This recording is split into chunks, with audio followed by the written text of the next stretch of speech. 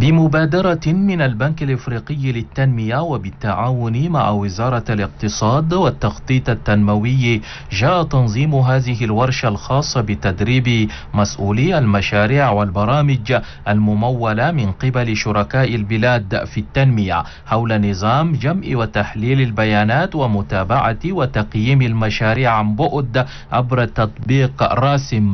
ممثل البنك الإفريقي للتنمية علي لمين زين قال إن هذا النظام النظام يسمح بالتطبيق الفعلي للخطة الاستراتيجية عبر هذه المنصة المشتركة من أجل تعزيز الإدارة الرشيدة والتسيير الأمثل للمشاريع في مختلف المجالات لدفع عجلة التنمية. بالبلاد. من جهتها المديرة العامة النائبة لوزارة الاقتصاد والتخطيط التنموي مادينجي رويمتا أشادت ببادرة البنك الإفريقي للتنمية لإطلاق هذا النظام وذلك لمواكبة أسر التكنولوجيا الحديثة للاتصالات والمعلومات وتسهيل الإجراءات الفنية والإدارية وطلبت من المشاركين الاستفادة من خبرات ومعارف المدربين لاكتساب ومهارات جديدة تمكنهم من التعامل مع هذا البرنامج الحديث.